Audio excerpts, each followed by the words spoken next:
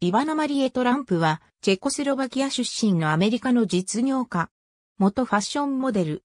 ドナルド・トランプの元妻。ドナルド・トランプ・ジュニア、イバンカ・トランプ、エリック・トランプは実施。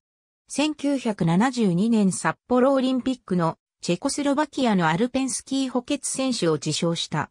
チェコスロバキア社会主義共和国のゴットワルドフで、イバナ・マリエ・ゼルニーチコバーとして生まれた。子供時代は彼女のスキーの才能を見抜いたジップによって特訓を受けていた。12歳の時にはより厳しい訓練を望む父親によって共産主義体制の思想教育キャンプに送られたと本人は語っている。1968年にチェコスロバキアのスキーナショナルチームの一員に選ばれ、共産主義体制の外へ出ることができたという。その後すぐ、オーストリア人のスキー選手、アルフレッド・ウィンクルマイヤーと結婚。彼との結婚でパスポートを得るためであった。1970年代初頭、カレル大学で単位を取得。1975年、幼馴染のジョージ・シロバトカと共にカナダへ渡り、スキーショップを開店する。2年間モントリオールで暮らし、カナダ有数の毛皮会社のモデルを務めた。1976年にニューヨークへ移り、1976年、モントリオールオリンピックの宣伝活動をする。同年にウィンクルマイヤーと離婚。1977年4月、ドナルド・トランプと再婚。彼との間に、ドナルド・ジュニア、イバンカ、エリックの3子を設けた。ドナルドによって、インテリア関連会社、タージ、マハルホテル、カジノの運営を任され、成功している。1980年代後半には家族と過ごす時間を増やしたいとしてアトランティックシティを離れようとするが、夫にプラザホテルの運営を任される。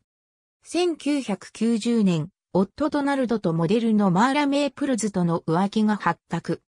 1992年に正式に離婚するが、慰謝料をめぐって裁判で泥仕合となり、注目を集めた。正確な金額は定かでないが、彼女のこれまでの会社への貢献度を加えられ、2億ドルの現金、14億ドルの土地、フロリダ州、パームビーチにある邸宅などを受け取ったとされる。マーラ・メープルズは若い頃のイバナに似ているということ、離婚訴訟と並行してのドナルドの破産も大きな話題になった。離婚後すぐにウィリアム・モリス・エージェンシーと契約。映画、ファーストワイフクラブへのカメオ出演や雑誌の人生相談など幅広い活動を行い、さらに自身の名を冠した医療、宝石、美容器具をテレビショッピングで売り出し、手堅い成功を収めた。著作もベストセラーとなり、テレビドラマ化された。2000年代には、元夫や子供たちが出演していたアプレンティスを含む複数のリアリティ番組に出演し、うち一つは自身の名を冠したものであった。一方、不動産開発業にも乗り出したが、失敗している。2017年10月、ABC テレビのインタビューで、最初の妻は私、ファーストレディでしょ？と発言し、これに対して、現在の妻であるメラニア・トランプが、著書の反則のための単に注目されたいだけの自分勝手な発言だと報道官を通じて猛反発した。大統領夫人と繊細が表立って対立したのは、これが初めてとされる。